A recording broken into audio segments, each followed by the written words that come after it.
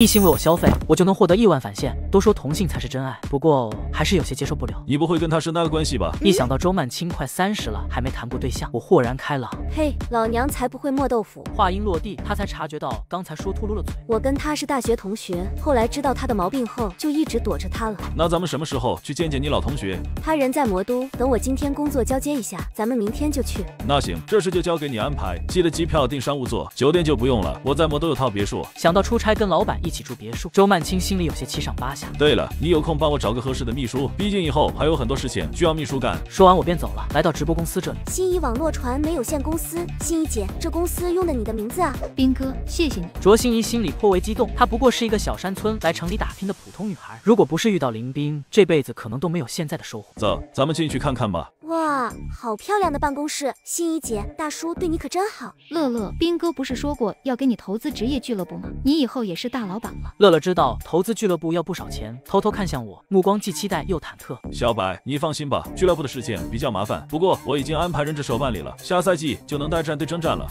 大叔，乐乐听完支支吾吾半天说不出话。以后记得多陪大叔玩几把游戏。知道了，大叔。行了，这些事情就交给你们了。对了，我马上要出差一趟，过几天才回来，你们在家好好等着。说完，我便去幸福里找陈可，带着他去商城消费了一波。最近发生的事情仿佛在做梦一样，但是现在陈可的体温告诉我都是真实的。第二天早上醒来，发现房间里只有自己一个人。来到厨房，可儿你怎么不多睡一会儿？阿斌你醒啦？陈可儿勉强笑了一下，我弄点早餐，你稍等一会，马上就好。我感觉陈可儿表情似乎有些不对劲。可儿是不是昨晚太累了？要不你休息下，我出去买点早餐。不用，马上就好。那行，我在外面等你。没过几分钟，我就狼吞虎咽地吃着早餐。可儿你怎么不吃啊？你先吃。我总觉得。今天的陈可儿有些怪怪的，也只好认为是昨晚操劳过度的缘故。可儿，我这几天要去魔都出差一趟，可能要过几天才回来，到时候给你带点礼物。吃完早餐后，我正要离开，阿斌，我刚好给你买了件小礼物，你先等我一下。收拾完餐桌的陈可儿马上去了卧室，不一会儿又走了出来。我前几天去了一趟深城，就顺便给你买了块手表，你看看合不合适？冰来自陈可儿的五十六万八千元消费，真诚指数百分之九十一点五六，奖励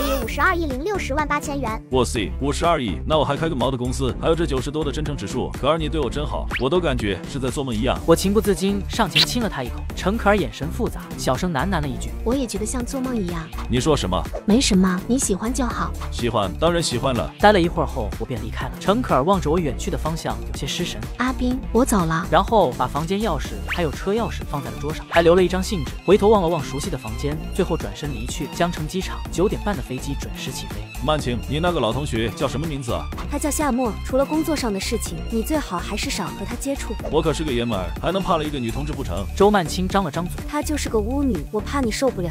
看来这两人有什么不可描述的经历。然后周曼青跟我说起了夏沫的情况。上次来魔都有买了一辆 R 八，这次直接开着去了夏沫住处。曼青，你这老同学住这里应该也不差钱吧？老夏他本来就不差钱，那咱们请得动他吗？这就看你的本事了。门铃刚响了几声，房门就打开了。青青，你终于来了。然后猛地扑了过来，接着就听到周曼青的尖叫声。你放开我！见防御不住，周曼青放弃防御。也主动出击，怎么样？手感是不是很好？你能不能别闹了？旁边还有人看着。夏沫这时才发现了我的存在。哪里来的臭男人？看什么看？你好，我叫林斌。夏沫死死盯着我看，我英俊年轻的面庞让他有了危机感。在客厅里，三个人聊了半个小时。老夏，你别不识抬举，没有影视公司会用你。要是错过这次机会，你这辈子别想再在这个行业混下去。混不下去就混不下去，我又不缺钱。青青，你是不是被这个小白脸包养了？你赶紧把工作辞了，我养你。包养你大爷！这女人之前是干了啥？竟然整个行业都混不下去。夏小姐，只要你答应帮我管理影视公司，薪资什么的都好说。呸！不就是有几个臭钱，嘚瑟什么？你看老娘像是缺钱的样子吗？我知道自己除了有钱，还非常英俊，以外其他都是扯淡。对了，这女人对曼青的态度好像有点问题。曼青，你先去休息一下，我跟夏小姐单独聊聊。青青，你哪儿也别去，要走也是他走。周曼青火气还没消，直接走了。夏沫见状，正准备追去。夏小姐，我劝你还是听我说几句，否则的话，我保证你一定会后悔的。就凭你。我跟十八以下的人没什么好聊的。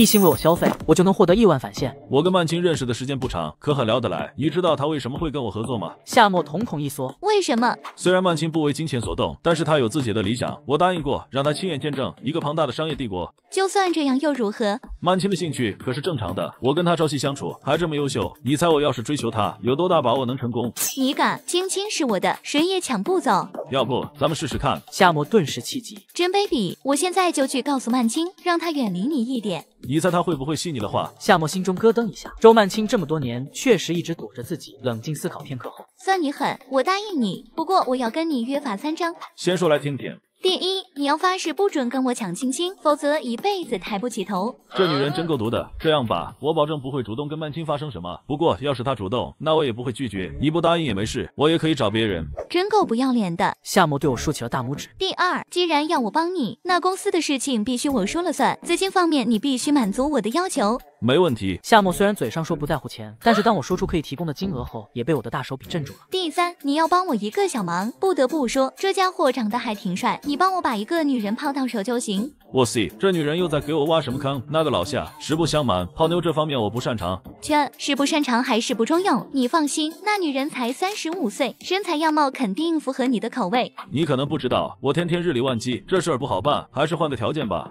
你要是答应下来，我可以帮你多介绍几个大明星，算是补偿了。这女人看人真准。你说的这个人是谁？是我妈。我直接惊住了。后来了解到是她的后妈。经过一番交涉，最终双方达成协议。你竟然真的答应了林总的要求？周曼青也很意外，本来她都做好牺牲自己去色诱对方的打算。林总，既然事情谈妥了，那咱们就走吧。青青，你好不容易来一趟魔都，让我好好带你逛逛，可以的吧，林总？夏沫目光中带着威胁。我先留在魔都几天，帮老夏做好前期工作。既然来了，咱们就适当休息一下。中午，夏沫做东来到法国餐厅，看着桌上的菜，我也不知道该怎么下手，只能偷偷看着周曼青的动作。我去，你一个堂堂亿万人豪，难道没吃过法国大餐？这玩意有什么好吃的？再说了，也配不上我的身份。这一桌可是大几万，你别不识好歹。才几万块，难怪我吃不习惯。丁，来自夏末的八千六百元消费，真诚指数百分之七十点四四，奖励六千零五十七万八千四百元。因为我就吃了一点，所以系统算下来就只有八千多。这个夏末真诚指数挺高的，现在的小一应该也提高不少。那我给小一买个礼物，他肯定也会送我礼物。于是吃完饭后，趁他俩去逛街的功夫，我买了一套三十多万的化妆品。不行，我也得送老夏一件礼物，不然这女人肯定会说三道四。想着送礼物要送有意义，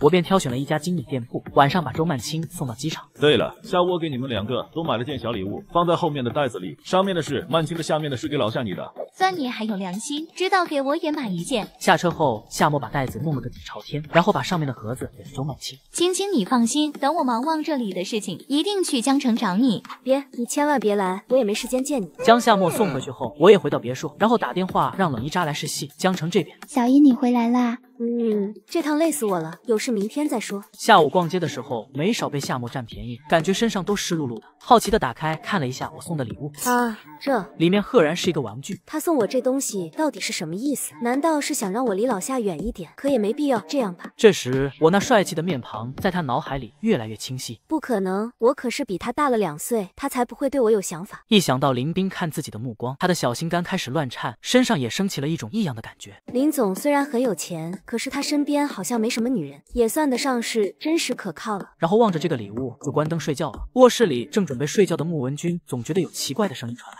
很快，他就站在了小姨房间门口，隔着一道门，那声音听得更清楚了。小姨，你怎么了？没事吧？房间里传来压抑的声音，小姨好像很痛苦的样子。啊，文君，我没事，你别进来。小姨，你怎么了？是不是哪里不舒服？穆文君抓着门把手，才发现门被反锁了。我真的没事，刚才就是做噩梦了。你赶紧去睡觉。穆文君在门口听了一会儿，见里面没了动静，才放下心来。小姨，那我去睡觉了。你要是不舒服就叫我。我知道了，你赶紧回去睡觉。林斌啊，林斌，你可是害死我了。这东西不能留，万一被文君看到了就不好了。思考片刻后，还是把这件礼物藏了起来。一心为我消费，我就能获得亿万返现。第二天一大早就被夏沫叫了过来。好啊，我在这累死累活的，你却跟别的女人鬼混去了。瞎说什么呢？小心我告你诽谤啊！呸！老娘经过手的女人比你见过的还多，我一闻就知道你身上有女人的味道。哇塞，这女人是狗鼻子不成？我还特地洗漱过。我连忙岔开话题，老夏，咱们干这事儿，你家老爷子没意见吗？我家老爷子早就去西天了，他能有什么意见？原来是寡妇啊！然后夏沫问了一堆问题，想知道我有没有什么特长。亏你还是个亿万富翁，竟然是个废物！废物就有点过了吧？我只是擅长的跟别人的不一样。你除了嘴硬还有什么？夏沫的后妈在老爷子死后，经常带各种男的回来，然后又马上抛弃。这些男的都有运动特长。既然都被抛弃，说明这些男的不符合他的口味。咱们换个套路，说不定他就喜欢上了。夏沫听完觉得有道理，然后给我讲了一大堆后妈李安妮的信息。健身房内锻炼完的李安妮已经累得不行，也不知道什么时候才能帮默默找个对象。夏沫需要三十之前成家立业才能继承公司，一直找男的回来是为了给他挑对象，这也是老爷子的遗愿。而国外的公司又出现了财务危机，需要自己赶紧完成任务，出国解决。李女士，不好意思打扰一下，什么事？是这样的，你的车子在停车场被人撞了，幸好保安及时发现，现在麻烦你下去处理一下。公司出问题后，每个月工资都拿不到，现在可买不起新车。撞的严重吗？据保安说不严重，就蹭掉了一点车漆。那就算了，你让那人走吧。好的，李小姐。休息了几分钟，准备离开的时候，李小姐，楼下那人不肯走，非要赔你车，你看。知道了。根据夏沫给的资料，我找到了李安妮的车子，用穆文君的方法制造一场偶遇。李总，就是这小子把你的车子撞了。胖保安立刻邀功。美女，这是你的车吧？你放心，我一定会赔钱给你的。我兴奋的说话有点颤抖，见我说话的样子，李安妮以为我是担心赔钱的事。算了，只是掉了点车漆，不用你赔。那不行，我在这里晒了这么久，就是为了搭上话，不赔钱那还搞个毛？美女，我撞了你的车，必须得赔钱，否则我良心过不去。我努力回想穆文君之前说的话，还有表情，说的自己都有点心虚。这心虚的样子，让李安妮想到了自己刚去国外时举目无亲的样子。算了，真不用。李总，你这车这么贵，就算补漆也要几千块，怎么能便宜了这个小子？对，必须赔。那行吧，你随便给点，就算是赔我了。那我先给你两千块，要是不够你再找我。两千也太多了，你给我两百就行。那行，微信转你。这么贵的车才赔两百块，真是便宜你小子了。美女，咱们加个微信吧。你这车去修的时候花多少钱？告诉我，我再转你。真不用了。然后给我递了一瓶水。天这么热，你还等了我这么久，请你喝瓶水。丁，来自李安妮的三元消费，真诚指数百分之九十五点二三，奖励两万八千五百六十九元。什么鬼？百分之九十五的真诚指数？美女，要不咱们加个微信吧？其实我很有钱。这个大男孩自尊心还挺强。好，我相信你很有钱，那咱们就加个微信。加完微信，李安妮便走了。喂，醒醒吧！癞蛤蟆也想吃天鹅肉，也不看看你长什么样。我没有理会，在保安目瞪口呆中，我开着二二八扬长而去。因为李安妮经常去一家烧烤店，所以我就去碰碰运气。不过运气不错，等了一会，李安妮来了。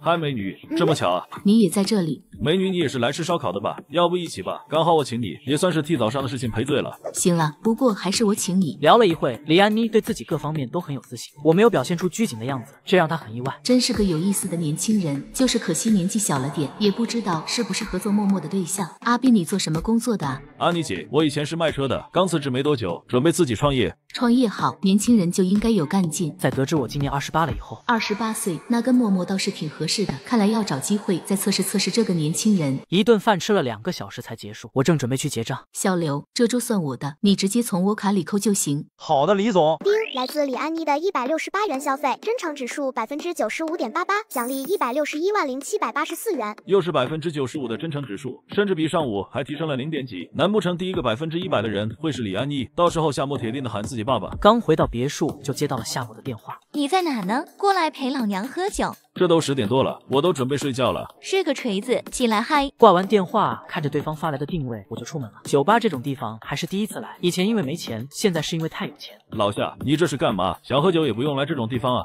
这地方有什么不好？酒好，美女又多。然后我俩像两个男的一样，开始讨论酒吧里的各种美女。这个身材不错，就是腿短了点。这个不行，边上那个身材才叫好。圈有什么好的？不就是肉多了点？旁边那个才叫好。你大方点过去，晚上肯定能领回家。我没兴趣，你要是喜欢，你自己去。你想什么呢？我才不是这种人，我只对青青有感觉。这时，一个小白脸凑了过来：“美女，要不要哥哥请你喝一杯？”苏丽泉各式各样的美女都尝试过了，夏沫这种身材火爆的，立刻吸引了他的注意。然而夏沫并没有搭理他。M 的臭女人，今天非要让你尝尝领杯的厉害。说着就掏出了装杯利器——法拉驴的车钥匙。美女，要不哥开车带你去兜兜风？法拉驴四五八，四点五升八缸发动机，五百七十八的马力，绝对让你爽翻天。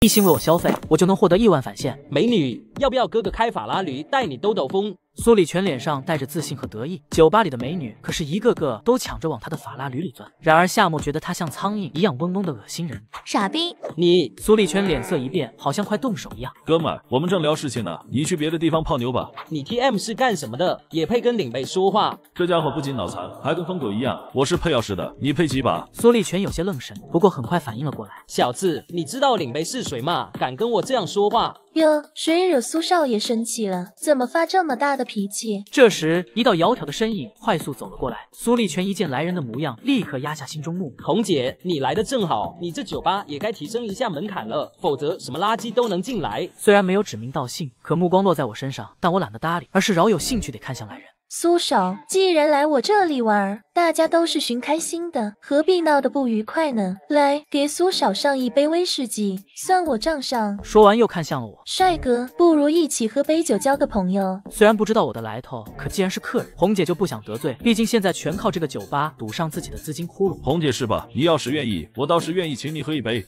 这是我的地盘，要请也是我请客。苏立权见红姐化解了气氛，知道不好继续闹下去，但是又咽不下这口恶气。红姐，只要你把这人赶出去，我现在就在你这里充一百万。怎么样？苏立全一咬牙，一百万可是他几个月的零花钱。红姐脸上一僵，现在正是缺钱的时候，这让她很为难。红姐，这样吧，今晚全场的消费我买单，不过你得把苍蝇先赶出去，免得打扰我们的兴致。小子，装什么大款呢？你知道这里一晚上消费多少钱吗？啊，这里一晚上要消费多少钱？红姐一愣，她感觉这个帅哥不像在开玩笑的样子。帅哥，大家都是出来玩的，没必要伤了和气。他虽然缺钱，可也知道有些钱烫手，不是那么好赚的。我也懒得废话，直接扫了一下桌上的二维码，然后一声清脆的付款声响起。我刚才扫了五百万，也不知道够不够把苍蝇赶出去。苏立全瞳孔一缩，他五百万，这小子到底什么来头？五百万能泡多少妞啊？红姐，要不咱们找个地方喝酒，免得被人打扰。红姐这才从震惊中回过神来。帅哥，要不去我办公室一起喝杯酒？然而我却摇了摇头，毕竟钱都花了，怎么能不？装逼，红姐去你那里喝酒倒是没问题，不过咱们是不是应该先把苍蝇赶走？苏立全听完，脸色立刻沉阴沉下来。哼，你凭什么赶我走？这酒吧又不是你开的，有本事你把这里买下来啊！他此时有点骑虎难下，虽然开着几百万的法拉驴，但是五百万还真拿不出来。如果就这么走了，面子可就丢大了。也对，全场买单算个屁，还不如直接把酒吧买下来。可还没等我开口，夏沫突然来了精神。对，咱们就把这里买下来。我也不知道这个女人到底在兴奋什么，然后她马上凑了过来。只要你把这里买下来交给我打理，那老娘就让你占便宜。我反应过来，他这是想在这里当老板，好方便泡妞。谁要占你的便宜？还不承认？你那两颗眼珠子恨不得长老娘身上，别以为我不知道。哇塞，这女人可真敢说。红姐，不知道你这酒吧考虑不考虑出手？帅哥，你真没开玩笑。什么玩笑不玩笑的？不就是一家酒吧吗？只要你愿意卖，那我就买过来玩玩。见我真听了自己的意见，夏沫靠得更近了。听着轻松的语气，买酒吧跟买玩具一样，这年轻人不会是来真的吧？红姐也考虑过卖酒吧，可那些买家一个个都把价格压得很低。帅哥，咱们去楼上聊。那咱们就去交流交流。苏立全感觉脸非常的疼，直接灰溜溜的走了，来到办公室。帅哥还不知道怎么称呼呢？你叫我阿斌就行。然后我打量着眼前的红姐，这么性感的阿姨，哪个少年不爱呢？阿斌，要不要我叫几个妹妹过来陪你喝一杯？妹妹哪有红姐你有魅力？别啊，给我叫几个妹子，我喜欢。红姐闻言一愣，有些不确定夏沫的意思，毕竟她可不知道老夏喜欢磨豆腐。要不你出钱把酒吧买下来？夏沫顿时语塞。哼，有钱了不起呀！我下楼下不打扰你们的好事儿。说完便。走了，行了，咱们继续聊。刚才看你在楼下挺喜欢喝这个的，这瓶威士忌就当是见面礼了。冰，来自红姐的一万六千八百元消费，真诚指数百分之六十八点九六，奖励一亿一千五百八十五万两千八百元。一下子暴击出一个多亿，岂不是买下这家酒吧的钱都有了？聊了半天，就是不提买酒吧的事，最终我忍不住了。红姐，我看这酒吧生意挺好的，你不会真的舍得卖吧？红姐犹豫了一下，实不相瞒，我最近很缺钱，才会想把酒吧卖了堵窟窿。红姐，要不你报个价吧？如果合适的话，我就帮你把窟窿堵上。红姐露出一丝苦笑。说实话，我这窟窿不小，你也不一定能补上。思考了几秒钟，一点五亿，不讲价。我听到价格，心里也放松了下来。阿炳，我这个价格绝对不高，但是需要你全款，因为我现在真的很缺钱。才一点五亿，肯定全款。我明天安排人过来跟你签合同。事情谈妥。第二天一早要离开的时候，红姐又给了我一瓶酒。冰，来自红姐的九千八百元消费，跟场指数。百分之七十五点七七，奖励七千四百二十五万四千六百元。我去，两瓶酒直接白嫖一个酒吧。一心为我消费，我就能获得亿万返现。来到健身房，远远的就看到了在角落休息的李安妮，正准备过去的时候，哥们儿别看了，那女人虽然长得不错，可是不好聊。扭头看去，一个身材魁梧、浑身腱子肉的家伙正对着我说话。怎么，你试过？那女人第一天我就试过，本来还以为是个富婆，结果确实在刷人。刚接触李安妮的时候，对方很主动，一个月要给自己几万。当自己答应下来时，对方却翻脸不认人。兄弟，你要是想泡妞，我可以给你介绍几个，不过你得办张卡。原来是会所里的教练，也不知道课程是健身还是泡妞，我还是试试看，说不定对方就喜欢我这种呢。说完，我就向李安妮走去。安妮姐，你这是天天来锻炼吗？难怪身材这么好。李安妮一愣，她也没想到我会来这里，不过也没多想。年纪大了，再不锻炼就老胳膊老腿了。倒是你，怎么也在这里？我最近有点忙，搞得腰酸背痛的，身体也有点虚，就想着来锻炼锻炼。李安妮表情顿时古怪，因为男的都喜欢嘴硬，很少承认自己虚的。你这年纪轻轻的，多锻炼锻炼也好。这里器材齐全，还有很多美女教练。算了吧，这里的美女哪能比得上你？年纪轻轻不学好，油嘴滑舌。虽然我的话像拍马屁，但是在他听来一点也不反感，反而还有些窃喜。我说的可都是实话。眼看快十一点了，我就提议一起吃饭，谎称自己打车来的，所以坐上了李安妮的宝马。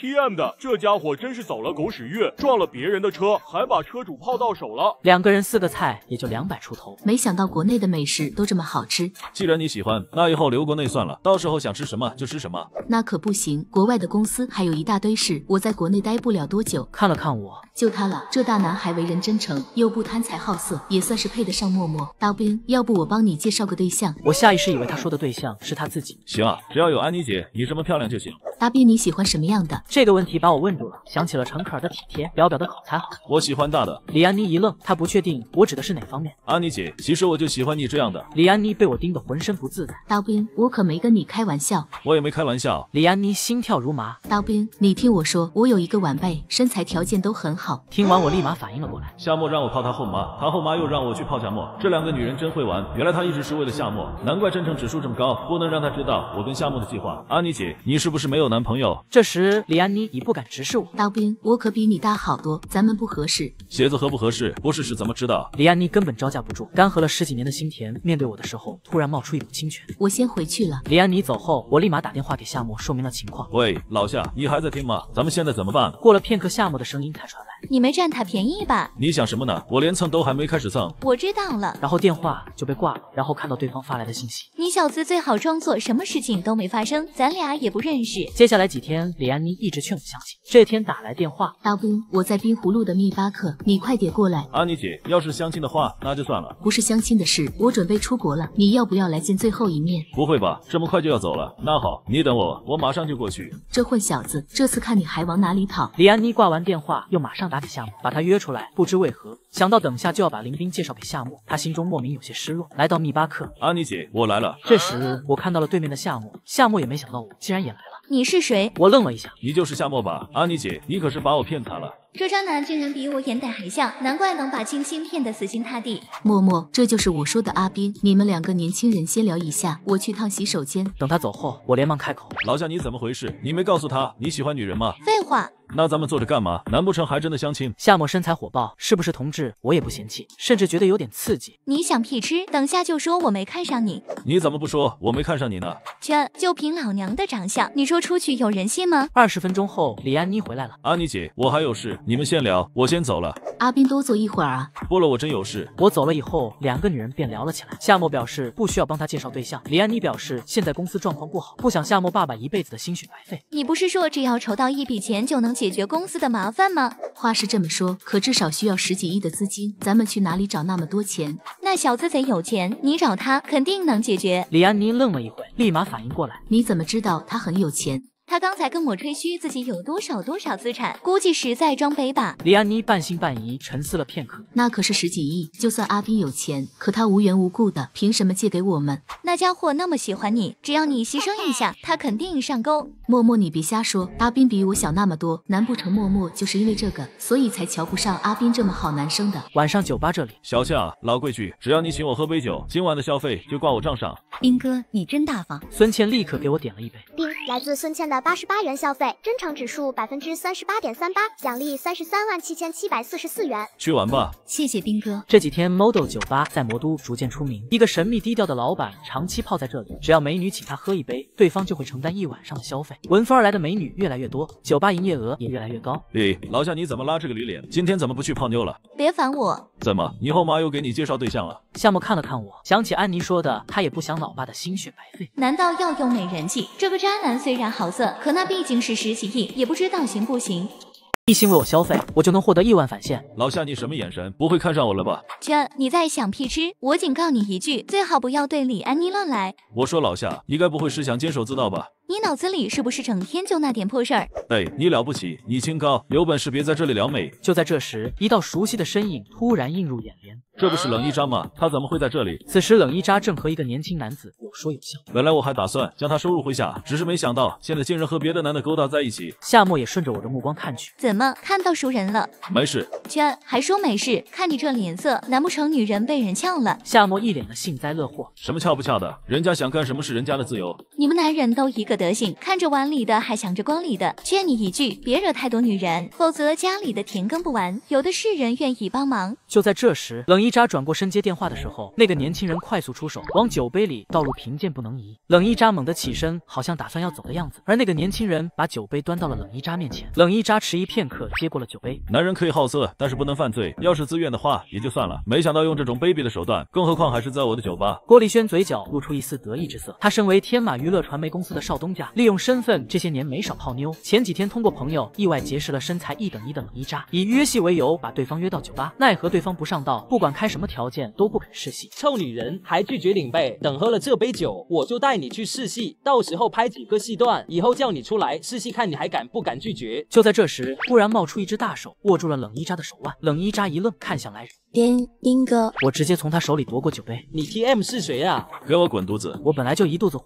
张嘴自然是毫不客气。小子，你知道领杯是谁吗？我 T M 管你是谁，你现在就给我把这杯酒喝了，不然我现在就报警。郭丽轩立刻意识到刚才自己下药的时候被人看到，这种小手段被抓到可是要吃牢饭的。不过还是嘴硬道：一扎，咱们换个地方，别管这个神经病。冷一扎丝毫没理会郭丽轩，而是战战兢兢得看着我。兵哥，我跟他真的没什么。我听完气也消了一些，刚才也看得出来他是不情郭丽轩见两人好像认识，脸色更难看了。冷一扎，只要你现在跟我走，公司下一部新戏就让你当女一号，我保证说到做到。你那个杯回去让你 M 当女一号吧。你郭丽轩气得说不出话，想动手，但是看着我一米八的大高个，又没那个胆，有点下不来台。这时他看到了我边上的夏沫，这妹子前段时间经常来天马娱乐，估计也是个小明星。这长相，这魔鬼身材，真的是绝。要是现在把她带走，肯定比带走冷一渣有面子。然后指着夏沫，美女，想不想拍戏？只要你跟我走，我保证你能成为大明星。夏沫听得一脸愣，哪来的傻逼？我哪知道，人家可是准备让你当明星呢。见两人把自己当空气，郭礼轩都快气炸了。好，你们要是敢得罪我，以后别想在娱乐圈混下去。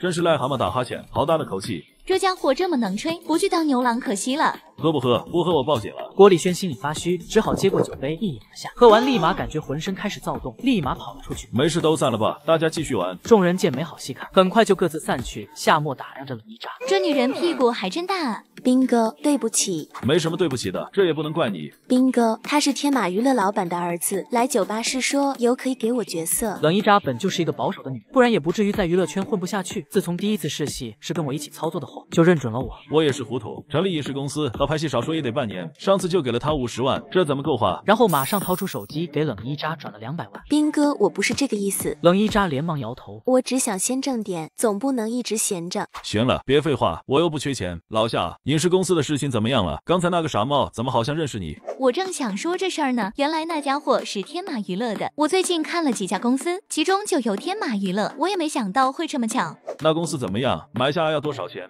天马娱乐也算是老牌影视公司了，旗下有不少签约艺人。只不过这两年接连亏损，老板还欠了高额赌债，才准备转手公司。现在要价二十二亿，不过对方撑不了太久，还能继续砍。才二十二亿，也不贵，就这个公司了，先砍价，不能给他们太多钱。如果到时候只要二十二亿也没关系，到时候看刚才那个癞蛤蟆还怎么蹦的。夏沫张了张嘴想说些什么，最后却没说出来。二十多亿丝毫没放在心上，那要是找他借十几亿，应该问题也不大吧？经过刚才的事情，夏沫改变了看法，觉得我还是很靠谱的。然后我给两个妹子互相介绍了一波，你就老老实实在家待着，到时候少不了你的戏。要是没钱了跟我说。冷一扎早就听到了两个人的对话，心中万分激动。兵哥，我都听你的。老夏，一扎也是演员，演技还不错。等公司收购完成，你先看看有什么适合他的角色。演技好不好？你说了可不算，要不还是让我先试试戏吧。这就不劳你操心了，我已经试过戏了，很满意。你一个外行人懂什么？影视公司可是我说了算，我还当过导演。你问他自己愿不愿意？我当然愿意。冷一扎抢着回答，他觉得夏沫是个女人，试戏而已，自然没什么问题。什么乌鸡白凤丸，我能旁观吗？旁观你个大头鬼！夏沫说完就走了，他准备去跟李安妮商量事情。这家酒吧是我刚买下来的，你要是无聊就来这里玩，消费记我的账上。然后我就带着冷一扎去二楼办公室。一心为我消费，我就能获得亿万返现。第二天早上，夏沫打来电话，咋了？影视公司的事情这么快就搞定了？李安妮打算出国了，今天下午带她去逛逛，你去不去？去啊，当然去。挂完电话，想着冷一扎演了一晚上妈妈的朋友，现在应该很累，我就管自己出门了，来到海边。安妮姐，这么急着出国干嘛？刀兵，我还有要紧的事情去处理。哎，你这一走，也不知道什么时候才能见面了。这一声叹息让李安妮慌了神。行了，咱们先上船吧。玩了一天，临近傍晚，安妮姐，你这次出国要多久才回来？李安妮听完，心中升起一股惆怅。夏沫让她来借钱，她又说不出口。就算能借到，可毕竟十几亿，她也没把握能否还上。我也不知道，到时候看公司情况。刀兵，能不能麻烦你一件事？安妮姐，有什么事儿就尽管说，我能做到的话一定尽力。李安妮点了点头。我这次出国也不知道要待多久。默默刚跟一一个老板合作成立影视公司，我想如果你有时间的话，能不能帮我照顾照顾他？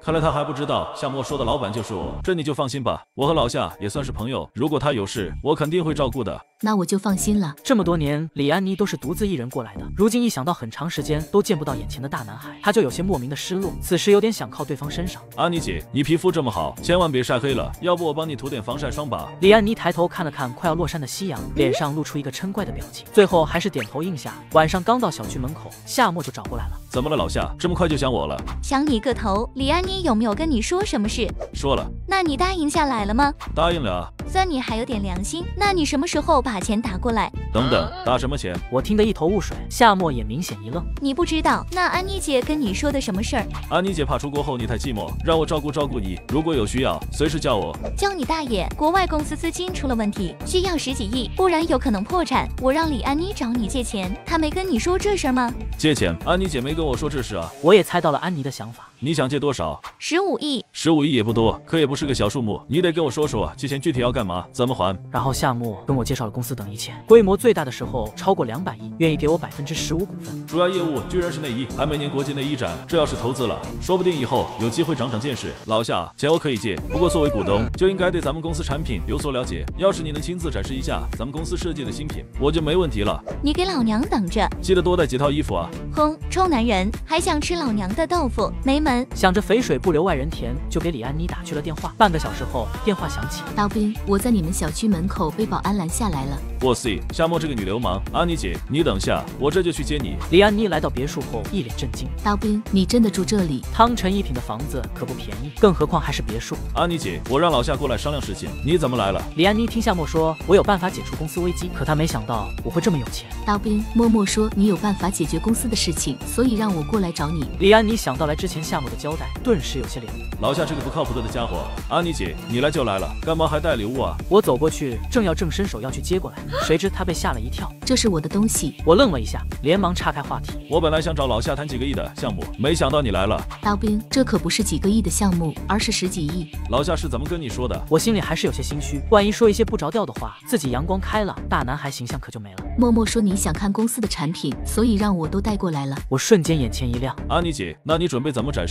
我带了几套新品过来。我这时才反应过来，原来这箱子里装的都是皮肤啊！那个啥，安妮姐，要不你展示给我看看？李安妮早就做好了心理准备，轻轻点头，随后就进了卧室换衣服，接连给我展示了公司几套新品，每次都逐一介绍，花了两个小时才展示完。阿斌，你觉得怎么样？简直完美！要是我，不管这衣服多少钱，都一定会买下来。可是这些衣服都是今年刚推出的新款，销量一点也不好。那是因为像安妮姐你这样漂亮的女人太少了，根本就不配穿这套衣服。虽然马屁听起来有些肉麻，可李安妮心里却美滋滋。刀兵，你觉得还有什么需要改进的？安妮姐，以我的眼光，这些衣服花的布料太多了，肯定是成本太贵，所以价格也高，才会导致销量不好。我一本正经胡说八道，但是我想的什么，李安妮又怎能猜不到？安妮姐，你就放心吧，这些衣服这么好看，我决定投资十五亿，帮你解决眼前资金链的问题。真的？当然是真的。我相信有了这笔钱，安妮姐肯定能让公司度过眼下的难关，再创辉煌。谢谢你，阿斌。安妮姐，要不你把这些衣服送给我当做谢礼吧？这这都是我穿过的，我回头挑几件新的给你送过来。安妮姐，我就喜欢这几套。李安妮也听懂了我的意思。刀兵，以后我做你的姐姐好吗？好啊，别人当姐姐都是把弟弟捧在手里。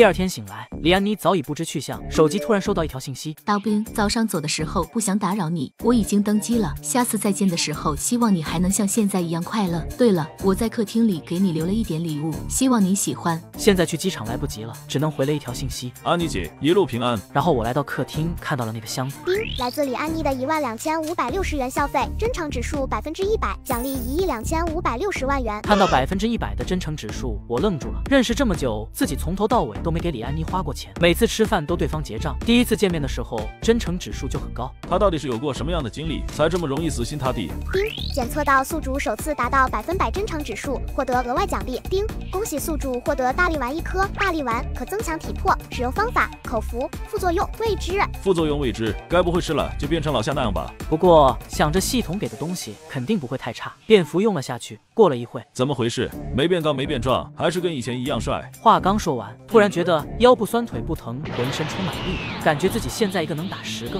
为了试试效果，马上打电话给了冷一扎。一心为我消费，我就能获得亿万返现。昨天在各个场景演完叶问一二三后，冷一扎累坏了，到现在还瘫在别墅，没办法起来。增强体质后，现在一百多斤的东西能轻易拿起来，还不影响行动。这时电话响起，今天要去收购天马娱乐公司，你要不要去？行，我马上就来。天马娱乐公司内，郭丽轩正在跟美女聊天。咦咦，只要你今晚陪我去吃个夜宵，这部戏的女一号就给你。轩哥，这放心，轩哥我说到做到。你这戏女一号真多啊！郭丽轩回头看到我，立马想起了酒吧里的经历。你小子来这里干嘛？那天喝完那杯酒回去后，可遭老罪了。不过当他看到我边上的夏沫时，一下子露出了笑脸。美女，你是来找戏拍吗？我这里有个新戏，只要你等下陪我吃个饭，这部戏的女一号就让你当。一旁的周姨姨听到郭丽轩说的，立马气呼呼的走了。当你大爷！郭丽轩听完一脸不屑。你们两个知道我是谁吗？傻逼！阿桑，你好，我告诉你们，天马娱乐公司的老板是我爸，得罪我的话，立马让你们在影视圈混不下去。不过我一向好说话，只要你们跪下来，我就原谅你们。你要是现在给我们跪下的话，我们也原谅你。郭丽轩听完气的不行，小子，你给我等着，到时候有你好看的。这时，一个中年男子走了出来，当他看到夏沫时，立马快步走上前。夏总您来了。这位是，这位是我的老板林斌。林总好。此时郭丽轩看得一脸愣，想着眼前的两个人到底什么来头，竟能让一向威严的老爸如此毕恭毕敬。林总，这次真的太感谢你了，要不是您愿意出手，老夫真的是撑不下去了。郭总，十九亿而已，也不贵，只是你们这里有人说，如果我们不跪下，以后就让我们在影视圈混不下去，那这公司以后我也不好操作。郭帅成一愣，回头看了下郭立轩，立马明白了一切。你小子给我跪下，给林总道歉。郭立轩立马吓得跪了下来，他知道老爸前段时间去奥城赌钱欠了很多，听到刚才的对话，他也明白了一切。小郭，我想到一个戏，你要不要来演男一号？看到我的笑容，郭立轩觉得有种不好的预感。晚上八点半，Model 酒吧吧台几个年轻靓丽的美女围着我有说有笑。斌哥，这杯酒是我请你的。斌，来自网瘾的一百六十八元消费，真诚指数百分之九点八六，奖励十六万五千六百四十八元。虽然才十几万，而且真诚指数很低，但是蚊子腿再小也是肉。行了，今晚只要消费不超过五万，都算在我的账上。谢谢斌哥。其他女生已经帮我点过酒，不过一个个都没急着离开，而是准备继续聊聊天，看有没有机会抱上大腿，时不时就用大道理撞我。你们几个先一边凉快去，我找黎老板说点正事。这些美女都认识夏沫，平时没少被他占便宜，众人也颇为有眼力劲，主动离去，看着我眼前一堆没喝完的酒。你这败家玩意儿，也不怕把这家酒吧玩垮了？对于我的爱好，他也是百思不得其解。如果说是为了泡妞，这么多人投怀送抱，我也就过过手瘾，其他啥也没干，每晚都花出去大几百万。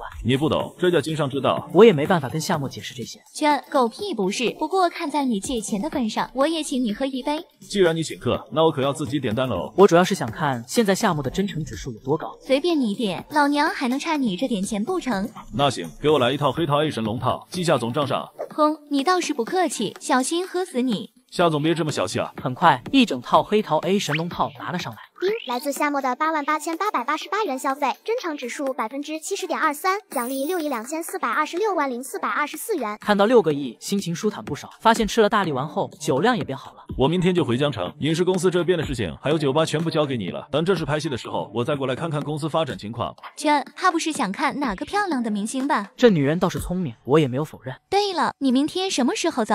明天上午吧。怎么了？我给青青买了点礼物，你顺便帮我带点东西回去。你不说我都差点忘了，要不你别买了，我给万青买。切，你那什么眼光？上次送我的化妆品一点都不合适，还是我来买吧。等等，什么化妆品？我什么时候送你化妆品了？就上次青青回去的时候，你不是送了我们两人礼物吗？对了，你给青青买的什么？我瞬间从椅子上跳了下来。如果夏沫拿到的是化妆品，那周曼青拿到的岂不是？第二天下午，我独自一人去机场。这次来魔都，一共花出去四十多亿，兜里的钱一下子没了一半。不过主要担心的是周曼青那边，一直好奇这些日子对方为啥一直没给我汇报工作。现在想想，只怕是那个礼物在暗道里兴风作浪。密巴克内，穆文君一副心事重重的样子。自从上次小姨从魔都回来，每晚都能从门缝听到小姨房间里传出古怪的声音，那声音有些苦痛。还有一些，文君，你这是在想什么呢？凯，兵哥，你怎么来了？我刚从魔都回来，给你带了点小礼物。谢谢兵哥。我一直在打量他的表情，感觉有些不对。怎么了？看你的样子，好像不太高兴，是不是挨训了？我没事。对呢，你要喝点什么？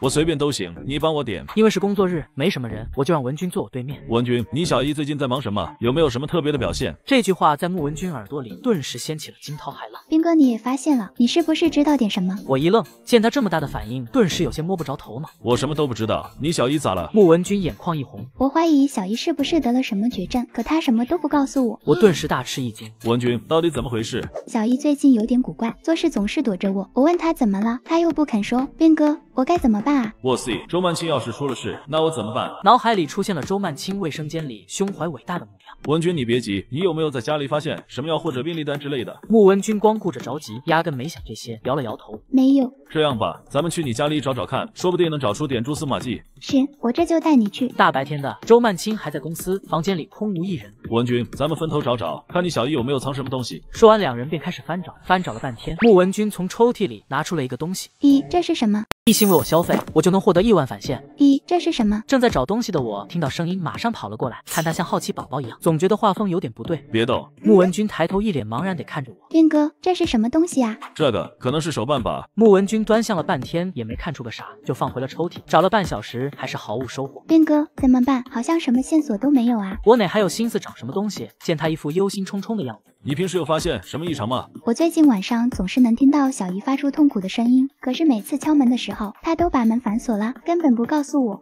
痛苦的声音，深夜？不会吧？有时候看到她的脸很红，就像发烧一样。斌哥，你说我小姨到底是怎么啦？呃，我估计可能是你小姨最近工作压力大吧。现在知道了事情的情况，我心里倒是不慌了。斌哥，我小姨她是不是得了什么病了？行了，文君你不要担心，你小姨肯定没事的，可能一个人独来独往久了，对身体有些影响。那我该怎么办？呃，让她找个男朋友吧。眼看马上就快六点，万一周曼青回来就麻烦了。我安慰几句穆文君后，便匆匆离开。公司的事情很快就处理完了。周曼青拖着疲惫的身体回来。文君，你今天没去上班吗？怎么回来的这么早？小姨，你这么早就回来了？今天斌哥从魔都回来，还给我们带了礼物，所以我就提前下班了。林斌回来了。周曼青一愣，想到礼物，脸上就有些绯红。半小时后，两人坐在餐桌上准备吃饭。小姨，你平时工作肯定累坏了吧？赶紧尝尝，看我今天发挥的怎么样？行了，既然林斌回来了，我明天就去汇报工作，接下来就可以省心一点了。穆文君不懂工作上的事，只是轻轻点了点头。小姨，你什么时候给我找个姨夫啊？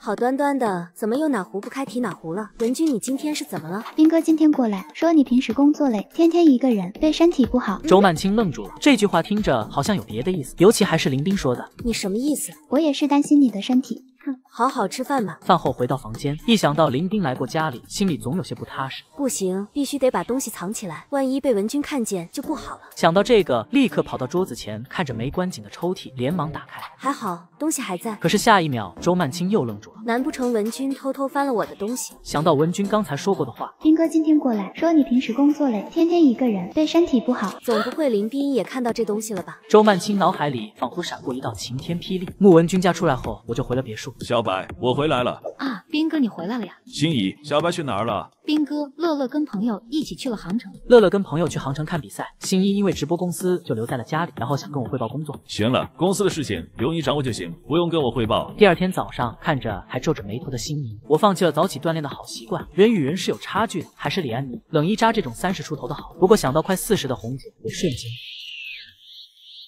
这难道是大力丸的副作用吗？不行，我得去冲个冷水澡。洗完澡，我打给了周曼青。林总，我今天有点不舒服，现在没在公司。曼青，你怎么了？要不要紧了？没事，我就是精神有点差，过来找个朋友开点药，下午就去公司。工作不着急，还是身体要紧。对了，你现在在哪儿？我过去找你。真不用了，我等下就回去了。没事，反正我今天也闲着，要不去你家里等着也行。周曼青自然不愿意我去他家，尤其是两人单独相处，于是便把地址发了过来。来到地点，发现竟然是一家心理咨询诊所。你好，我是来找朋友的。你是林斌林先生吧？哎。你好，苏医生交代过，你先在休息室等一下，他马上就出来。半小时后，一个女人走了过来。你好，我叫苏菲，是曼青的好朋友。我叫林斌，也是曼青的朋友。曼青是怎么了？你放心吧，她就是最近太累了，精神有些差。说着就开始打量着我。你跟曼青很熟吗？算是吧，我们两个算是同事。同事，小弟弟，你可是没说实话哦。我愣了一下，想着这个人跟曼青到底是什么关系？我跟曼青从小一起长大，他什么事都不会瞒着我。说你是不是曼青的小男朋友？我差点被他吓了一跳。苏医生，你别开玩笑了，就算是我想，曼青她也不答应啊。苏菲刚才注意到周曼青接电话的时候遮遮掩掩，表情不对劲，所以想看看到底是谁让一直不开窍的周曼青荡漾。林斌是吧？反正闲着也是闲着，要不我帮你看看。作为心理医生，最擅长洞察人心，所以想先探探我的想法。这就不用了吧，我也没什么不舒服的。我连忙摇头，不知为何，总觉得眼前这个女人有一种危险的感觉。多次要求被拒绝后，那行吧，咱们加个微信，以后有事可以随时找我。这次我没有拒绝，直接加了微信。行了，你先在这里等一会儿，曼青应该也快出来了。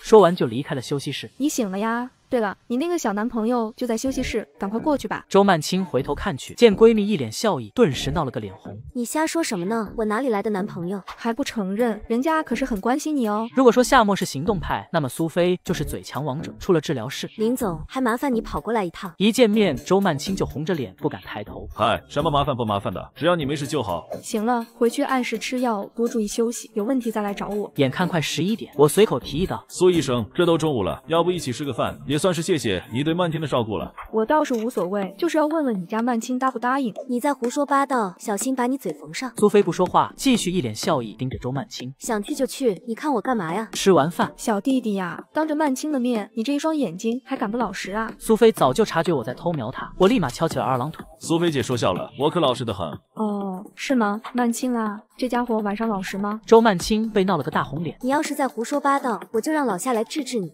那不正好，刚好让老夏给你长长姿势。看来三个女人都认识啊。眼看都吃完了，我便去前台结账。我刚走，苏菲就对周曼青坏笑：“曼青，你这小家伙不懂事啊。”周曼青一愣，回忆了一下刚才林冰的表现，心里不解：他怎么不懂事了？苏菲一本正经道：“懂事的弟弟早就让姐姐，不懂事的弟弟还在叫姐姐。曼青，你们俩。”你又在胡说什么呢？周曼青嘴上极力否认着，可脑海里却浮现出我的面庞。切，看你一脸荡漾，还不承认？两人没说几句，我就走了过来。苏菲姐，今天太仓促了，以后有机会再一起吃饭。好啊，姐姐我可等着了。在饭店门口分别后，想着乐乐去了杭城，表表去了直播公司，于是给陈可发了条信息，但是过了半天也没人回，再打过去电话，对方竟然关机了。不对啊，可儿这是在干什么呢？一心为我消费，我就能获得亿万返现。不对啊，可儿这是在干什么呢？以前不管何时发信息，可儿都会回复。虽然可儿有求必应，可却从来不会主动打扰我，所以这么多天没联系，我也没怎么放在心上。可儿，你在家吗？喊了两声也没人回应，奇怪，人去哪儿了？在房子里找了两圈也没找到人。正当我疑惑的时候，看到了桌子上纸条，拿起来一看，瞬间愣住。阿斌，当你看到这封信的时候，我已经走了，记住不要来找我。短短几句话，反复看了几遍，脑海里又浮现了陈可儿的身影，看着桌子上的车子跟房子的钥匙。想到他送自己的那块五十多万的手表给可儿花的钱，没想到最后他又全部花在了我身上。我得找到可儿问清楚。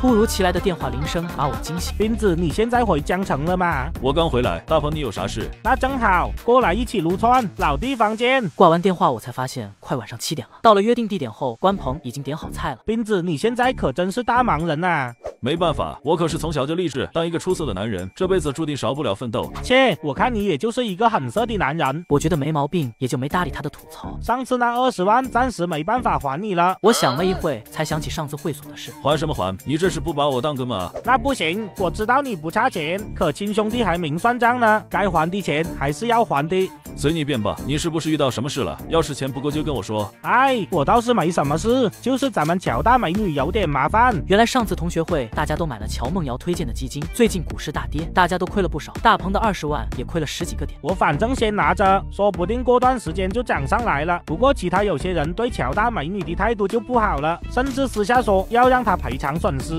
投资有风险，就算巴菲特来了，也不敢说百分百赚钱，除非跟我一样开挂。斌子，眼下可是个好机会，乔大美女正处于危难，正好你有钱，只要帮她解决眼下的难关。嘿嘿。姐，你以为我跟你一样泡妞还要用钱？对你牛掰，你清高，也不知道是谁打了二十多年的光棍。乔梦瑶这种勤奋上进的女强人，如果太主动，肯定会适得其反。这样吧，既然同学一场，如果她真的有难处，你就让她来找我。关鹏一脸贼笑，别急，他等下就来找你了。我愣了一下，啥意思？嘿嘿，你来之前我就给他打了电话，估摸着他也快来了。肥水不流外人田。刚说完，乔梦瑶就走了过来。林斌，没想到你也在啊。关鹏约他的时候，并没有说我也在这里。来来来，乔大美女，快走。大鹏这小子也没跟我说你会来，不然我好歹收拾的隆重点。算了吧，你已经够帅的了。三个人聊了一会。对了，听大鹏说你最近遇到了点麻烦，有什么需要帮助的，尽管说一声。提到这事儿，乔梦瑶也没有隐瞒。既然林老板都开口了，那我正好有点事想找你帮忙。我以为他会推辞一番，没想到竟然这么直接。当然，我说的帮忙也不是客套话。什么事？你尽管说。我想找林老板你借点钱，不过先说好，这钱真不知道什么时候才能还。我以为对方会让我帮他冲下业绩，没想到是直接借钱。不是吧，乔大美女？难不成你真的要自掏腰包帮那些家伙赔钱？我愣了一下，想起刚才方鹏说的，这才明白借钱的目的。大家都是成年人了，基金是自己买的，现在亏钱了，竟然还要别人赔。赚钱的时候也没见他们分别人一半。乔梦瑶脸上露出苦笑，这事儿也怪我，而且大家都是同学，挣点钱都不容易。这怎么能怪你？又不是你想让大家亏钱的。最近股市就这个屌样，谁来都要亏钱，而且还是他们主动要求你推荐的。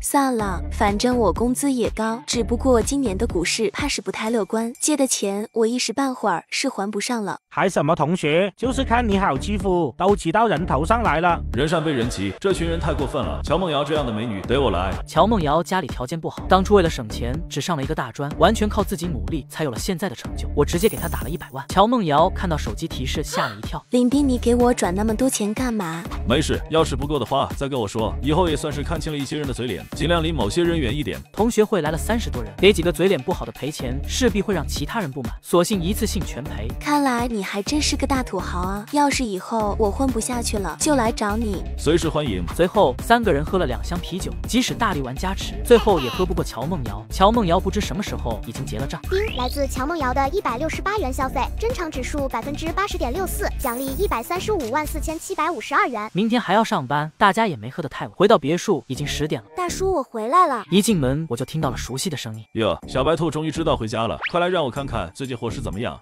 呀，心怡姐还在楼上呢。不过我也没干什么，蹭蹭大白兔就松开了。小白，这次去杭城好玩吗？然后乐乐跟我说起了这次旅途。对了，大叔，我给你带了点礼物，你看看喜不喜欢？说着就噔噔跑开，不一会儿又转身回来。大叔，这可是最好的西湖龙井，也算是杭城最有名的特产了。乐乐一脸期待地看着我。哟，看着好精致的样子。虽然我对茶叶没特别的爱好，可是对乐乐的礼物却很喜欢。嘿嘿，只要大叔喜欢就行。丁来自白乐乐的三千六百元消费，真诚指数百分之八十八点八八，奖励三千一百。九十九万六千八百元，这真诚指数马上就要破九十了，看来距离吃大白兔奶糖的日子不远了。来看在礼物的份上，我今晚就陪你玩几把游戏。